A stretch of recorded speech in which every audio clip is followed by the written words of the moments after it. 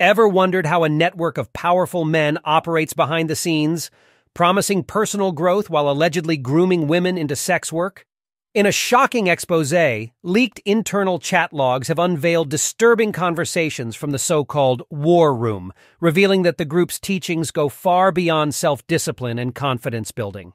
The logs indicate that members of this exclusive $8,000 a year network, led by former kickboxer Andrew Tate, were allegedly trained to manipulate and exploit women. How many potential victims were identified in the leaked chat logs? And why might the actual number be even higher? Between March 2019 and April 2020, the internal chat logs identified 45 potential victims. However, given the limited access to only 13 months of chat logs, the actual number of women targeted and exploited by the group since its formation in 2019 could be much higher. How does Andrew Tate defend himself against these allegations? And who does he claim the war room is for? Andrew Tate vehemently denies any wrongdoing and claims that the War Room is a platform for self discipline, motivation, and personal growth. He portrays it as a network for powerful men and those who aspire to learn from them, connecting with thousands of professionals worldwide. Tate's perspective emphasizes personal responsibility and accountability. What stark contrast do the leaked chats present about the War Room's real teachings? Contrary to Tate's claims, leaked online chats reveal that the War Room offers a PhD course, instructing members on how to groom women into sex work. This chilling course allegedly includes lessons on romantically seducing, emotionally manipulating, and socially isolating women. The goal? To lure them into performing on webcams while taking most, if not all, of their earnings.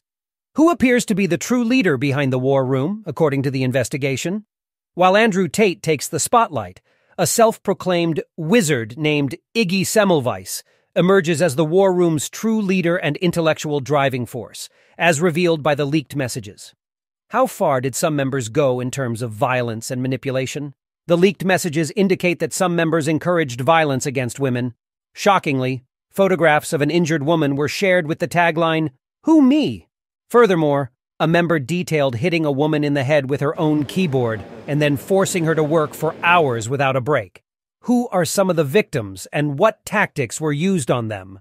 The BBC spoke to two women who were allegedly exploited by War Room members, revealing that they were subjected to emotional manipulation, violence, and forced into performing sex work.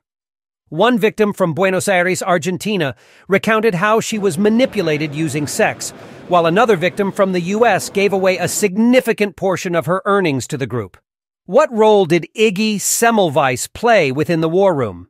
Iggy Semmelweis, whose real name is Miles Sonkin, is described as the driving force behind the war room. He is a former member of alleged cults and has an interest in far-right ideologies, Sonkin's role in the group's establishment and teachings appears significant.